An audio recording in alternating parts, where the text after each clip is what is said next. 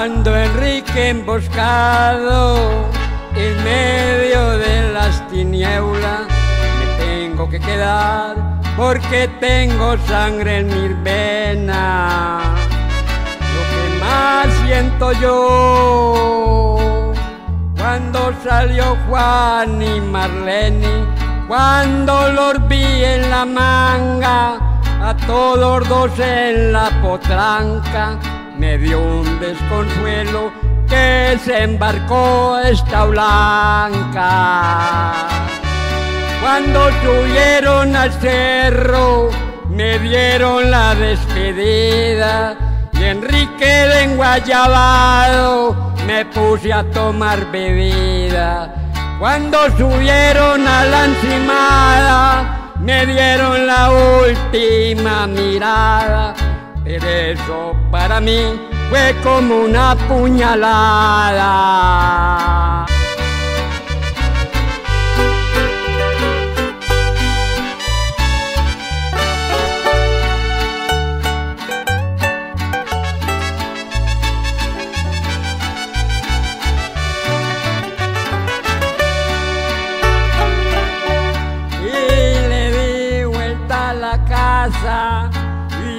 Juguetes que me dejaron.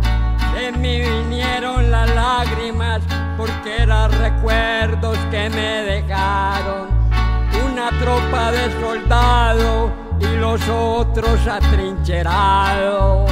Lo que más sentía yo, verme solo y abandonado. Yo presentía que me llamaban y las penas más se me aumentaban de ver las camas vacías y compañeros nada.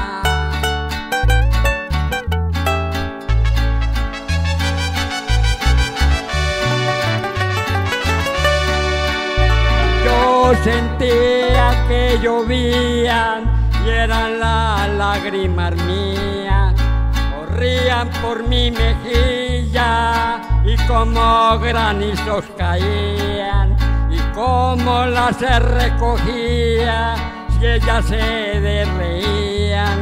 Y yo doblé mi cabeza malaya la suerte mía y me subía una piedra 50 metros de alto y yo me pensaba tirar pero yo no sé qué santo me agarró por detrás y me puse la mano en la cara y allí me puse a pensar que las mujeres ingratas no se